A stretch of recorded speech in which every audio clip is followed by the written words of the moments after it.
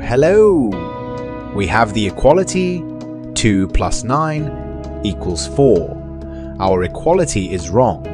We need to move one match to make our equality correct.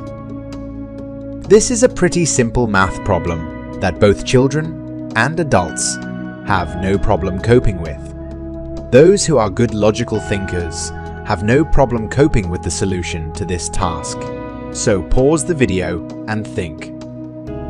When you find the correct solution to this problem, you can continue watching this video to make sure that correctly coped with the task. We need to move one match to make our equality correct. How this puzzle is solved.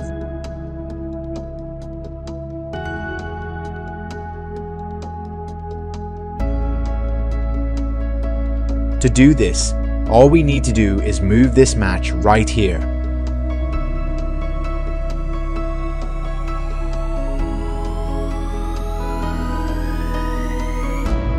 Now when we check the condition, 2 plus 9 is 11, and 11 equals 11. Now our equality is correct. The task is done and the puzzle is solved. Subscribe to our channel and be sure to write in the comments whether you managed to solve the puzzle or not.